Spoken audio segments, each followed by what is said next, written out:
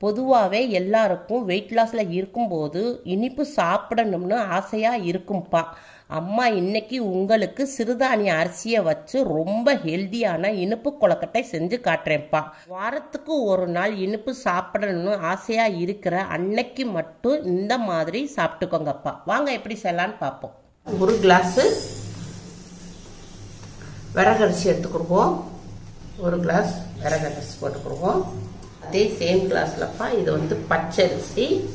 நீங்கள் எந்த பச்சரிசினாலும் போட்டுக்கலாம். கால் கிளாஸு பச்சரிசி போட்டுக்குருவோம் கால் கிளாஸு பச்சரிசி போட்டுக்குவோம் இப்போ நாலு மணி நேரத்துக்கு இதை தண்ணி ஊற்றி நல்லா ஊற வச்சுக்குவோம்ப்பா ரெண்டு தடவை நல்லா வாஷ் பண்ணிவிட்டு நம்ம ஊற வச்சுக்கிடுவோம் இப்போப்பா ஒரு நம்ம வந்து கல் எடுத்துருக்கோம். இந்த கல்லில் நம்ம ஒரு மூணு ஏலக்காய் போட்டுக்கிடுவோம் மூணு ஏலக்காவையும் தட்டிக்கிடுவோம் இப்படி நம்ம தட்டிட்டு அந்த ஏலக்காவுடைய விதையை மட்டும் நம்ம எடுத்துக்கிடுவோம். தோல் தேவையில்லை. ஏலக்காவுடைய விதையை மட்டும் எடுத்துக்கிட்டோம்ப்பா. இப்போ நான் ஒரு பத்து முந்திரி பருப்பு போடுறேன். பதினஞ்சு பாதாம் பருப்பு போடுறேன். நிலக்கடலை இது கொஞ்சம் போட்டு கொடுப்போம். இதை ஃபுல்லாக நம்ம அப்படியே ஒன்று ரெண்டாக தட்டிக்கிடுவோம். இப்போ ஒன்று ரெண்டாக நம்ம தட்டிக்கிட்டோம்ப்பா. நம்மளுக்கு கொலக்கட்டை சாப்பிட்றப்ப நல்லா அவ்வளோ ஒரு கிரிப்ஸியாக இருக்கும். நம்ம நாலு மணி நேரத்துக்கு அரிசியை நல்லா ஊற வச்சுருந்தோம். நம்ம நல்லா ஊறிடுச்சுப்பா. பாருங்கள் நல்லா மலர்ந்துருச்சு. பூவாக மலர்ந்துருச்சுப்பா. இப்போ இதை வந்து மிக்சி ஜாரில் போட்டுக்கிறோம். நான் தண்ணி ஊற்றிருக்கேன்ப்பா இந்த தண் இந்த அரிசிக்கு மேலே கொஞ்சம் தண்ணி மேலே கொஞ்சம் லைட்டாக மிதக்கணும். ரொம்ப மிதக்கக்கூடாது. அடிச்சிச்சுன்னா உங்களுக்கு இது வந்து சிறுதானியம். அதனால் உங்களுக்கு ரொம்ப தண்ணி ஊற்றிட்டிங்கன்னா உங்களுக்கு வந்து அளவும் கிடைக்காது. இன்னொன்று வந்து உங்களுக்கு வந்து மில்லட் அரிசி வந்து அடிக்கவும் அடிக்காது. அதனால அரிசிக்கு மேலே கொஞ்சம் தண்ணி இப்படி இந்த அளவுக்கு ஊற்றிக்கோங்க இப்போ அம்மா வந்து உங்களுக்கு இதை மிக்சியில் அடிச்சு கொண்டு வரேன். அடித்து அடிச்சு கொண்டு வந்துட்டேன். ஒரு ரெண்டு நிமிஷம் அடித்தோம்னா நல்லா பார்த்திங்களா நல்லா மாவாக நல்லா பால் மாதிரி இருந்துச்சு பாருங்கள் நல்லா அடிச்சிருச்சு. ஆ இது. இப்படி அடித்து வச்சுக்கிட்டோம். இது எப்படி இருக்கட்டும். அப்போ நம்ம கேஸ் ஆன் பண்ணியிருக்கோம். ஒரு கடாய் வச்சுருக்கோம். கடாய் கொஞ்சம் சூடாகட்டும்.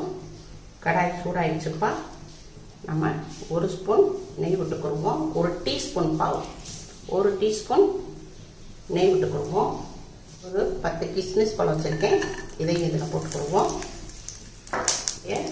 லைட்டாக வறுத்துக்கிடுவோம்.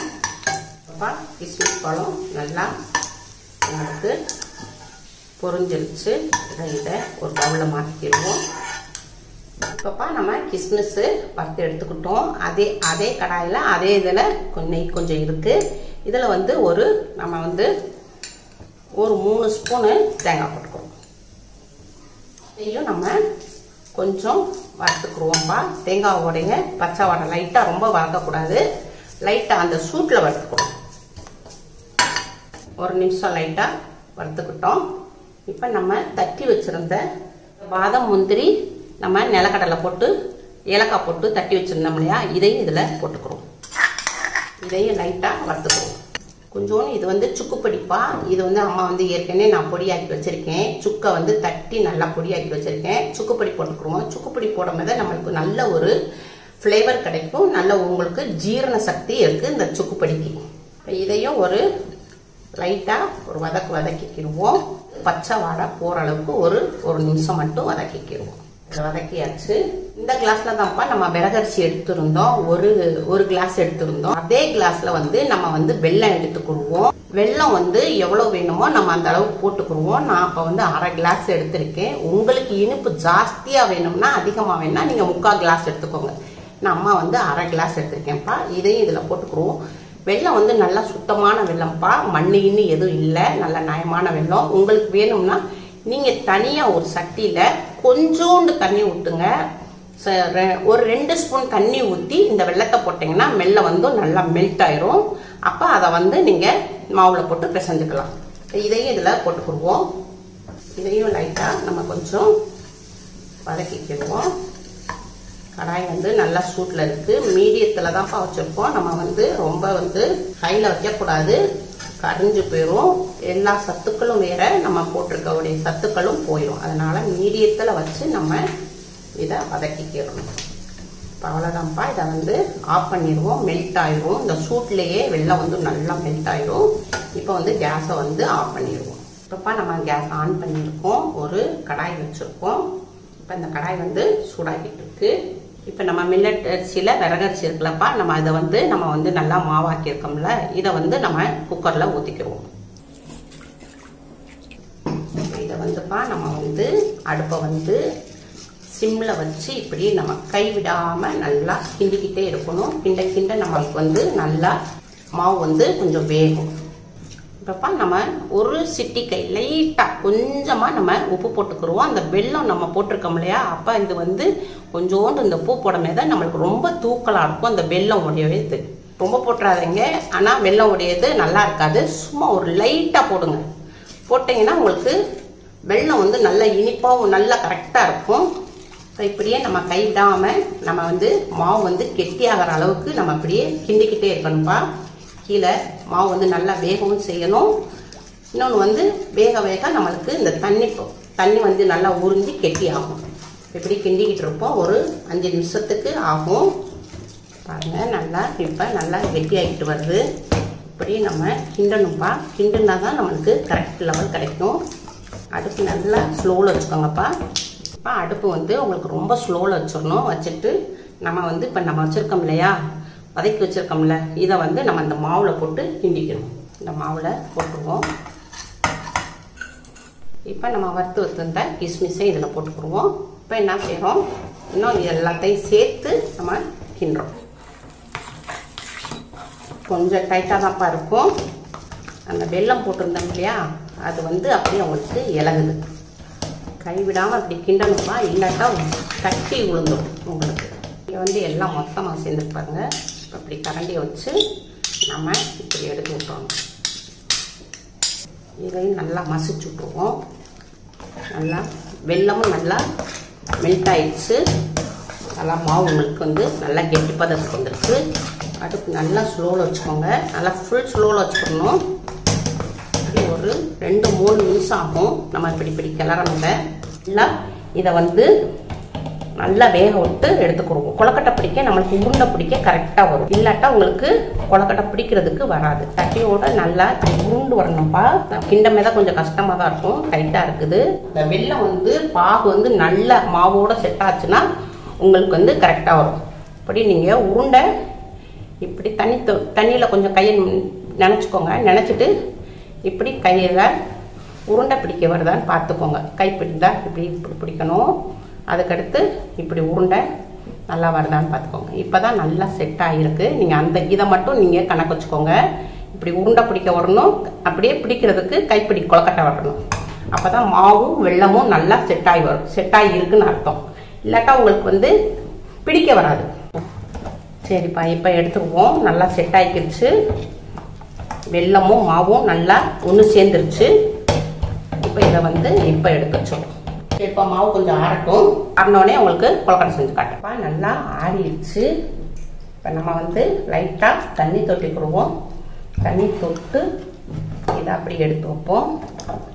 வெள்ளமும் மாவும் நல்லா செட் ஆயிடுச்சு. இந்த பதத்துக்கு வரணும்ப்பா பார்த்துக்கோங்க இந்த பதத்துக்கு வரணும். அப்போ தான் வெள்ளமும் மாவும் நல்லா இந்த பதத்தில் நம்ம கிண்டி எடுக்கணும். அப்போ தான் உங்களுக்கு கொலக்கட்டை பிடிக்க கரெக்டாக வரும். லைட்டாக கொஞ்சம் கையில் ஒட்டும் நீங்கள் வந்து லைட்டாக தண்ணி தொட்டுக்கோங்க. தண்ணினாலும் சரி இல்லை எண்ணெய்னாலும் சரி. தண்ணி தொட்டாலும் உங்களுக்கு ஒரு இதாகாது. கொஞ்சம் லைட்டாக எண்ணெய் கரை எண்ணெய் தொட்டுக்குருவோம்ப்பா அப்போ போடும்போது உங்களுக்கு கரெக்டாக வரும். இதே ஒரு கண்ணோட்டம் உள்ள ஜல்லடை மாதிரி ஒரு பிளேட் எடுத்துக்கோங்க. இல்லைன்னா நீங்கள் வந்து இட்லி தட்டு இருக்கலையாப்பா இட்லி தட்டில் இப்படி துணி போட்டு எடுத்துக்கோங்க. சரிங்களா? இப்போ வந்து நம்ம வந்து கொஞ்சம் மாவு எடுத்துக்கிடுவோம். உங்களுக்கு எந்த அளவுக்கு உருண்டை வேணுமோ அந்த அளவுக்கு போட்டுக்கோங்க. நம்ம தண்ணி லைட்டாக தொட்டும் செஞ்சுக்கலாம்ப்பா. தண்ணி தொட்டிருக்கோம். இதில் அப்படியே உருட்டினீங்கன்னா நல்லா பால் மாதிரி வந்துடும் பிஞ்சையெல்லாம் இல்லை லைட்டாக கொஞ்சோண்டு எண்ணெய் தடவிக்கோங்க. ஒரு சொட்டு லைட்டாக எண்ணெய் லைட்டாக தொட்டு டச் பண்ணி இப்படி உருட்டிக்கலாம் தண்ணியும் தொட்டு தடவிக்கலாம். உங்களுக்கு எது பிடிச்சிருக்கோ உங்களுக்கு எந் உங்க இதுக்கு எந்த இது கரெக்டாக வருதோ அது மாதிரி செஞ்சுக்கோங்க. தண்ணி தொட்டும் செய்யலாம்ப்பா. லைட்டாக எண்ணெயை டச் பண்ணியும் செய்யலாம். இப்படி உருட்டினீங்கன்னா பால் மாதிரி வந்துருச்சு. எல்லாத்தையும் நம்ம செஞ்சுக்கிட்டோம். இப்போ நம்ம உருண்டை போட்டுக்கிட்டோம்ப்பா. இப்போ இட்லி தட்டு இருக்கு. இப்போ நம்ம உருண்டை இப்படி போட்டுக்கிட்டோம். இப்போப்பா முத வந்து நம்ம வந்து இதிலே தான் வச்சு நம்ம வந்து அவிக்கலான்னு இருந்தோம். ஆனால் அது வந்து எல்லா வீட்லேயும் இப்படி இருக்காது. அதனால நான் நார்மலாக இட்லி தட்டில் எடுத்து வச்சுக்கிட்டேன். உங்க- நம்ம வீட்டில் எல்லா வீட்லேயும் இட்லி சட்டி இருக்கும். அதனால தான் நான் வந்து மாற்றிக்கிட்டேன் இப்போ நம்ம வந்து கேஸ் பக்கம் போயிடுவோம்ப்பா இப்போ நம்ம இட்லி சட்டி வச்சுருக்கோம்ப்பா. தண்ணி கொதிக்க கொதிக்கிற நிலையில இருக்குது இப்போ நம்ம வந்து நம்ம உருண்டை போட்டு வச்சுருக்கிறோம் இல்லையா? இப்போ இறக்கிடுவோம் இது மேலே இப்படி போட்டுருவோம். போட்டு இதை ஒரு பத்து நிமிஷத்துக்கு நல்லா வேக பத்து நிமிஷம் நல்லா வேகட்டும். வெந்த உடனே உங்களுக்கு போகணுங்க பத்து நிமிஷம் நல்லா வெந்துருச்சுப்பா. இப்போ நம்ம கேஸ் ஆஃப் பண்ணிடுவோம். நம்ம ஏற்கனவே நம்ம மாவை நல்லா பாதி அளவுக்கு நல்லா வேக வச்சுட்டோம். இப்போ மீதி வந்து பத்து நிமிஷத்துக்கு இப்போ இட்லி சட்டியில் அவிச்சு எடுக்கிறோம். ஓப்பன் பண்ணுறேன் பாருங்கள் சூப்பராக நல்லா வந்திருக்கு. நல்லா அருமையாக வந்துருச்சு. அதான்ப்பா ஸ்வீட் கொலக்கட்டை ரெடி ஆயிடுச்சு இப்போ இதை எடுத்து பிளேட்டில் மாற்றிக்கிடுவோம் நல்லா வெந்துருச்சு. ரொம்ப சாஃப்டாக இருக்குப்பா. உங்களுக்கு இட்லி சட்னா நம்ம வீட்டில் எல்லா வீட்லையுமே இருக்கும். அதனால தான் உங்களுக்கு நான் அம்மா வந்து இட்லி சட்னி அவிச்சு காமிச்சிட்டேன். நீங்கள் பிடி குளக்கட்டமானா பிடி குளக்கட்டமாக செ- செஞ்சுக்கோங்க.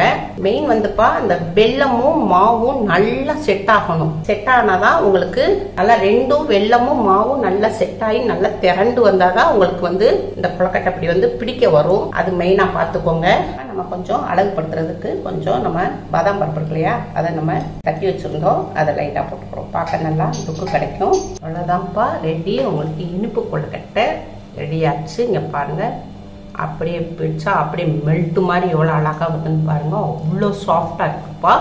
அவ்வளோ ஒரு டேஸ்ட்டு அவ்வளோ ஒரு சாஃப்ட்டு உங்கள் வீட்டில் செஞ்சு பாருங்கள் எல்லாருமே சாப்பிட்லாம்ப்பா. எல்லாமே நம்ம ஹெல்தியானது போட்டிருக்கோம்ப்பா. இப்படி பிள்ளைகளுக்கு நீங்கள் செஞ்சு கொடுங்க. ரொம்ப ஹெல்தியானது ரொம்ப டேஸ்ட்டு ரொம்ப சாஃப்ட்டு அதனால உங்கள் வீட்டில் செஞ்சு பாருங்கள் அம்மாவுக்கு லைக் பண்ணுங்கள் ஷேர் பண்ணுங்கள் சப்ரைட் பண்ணுங்கள்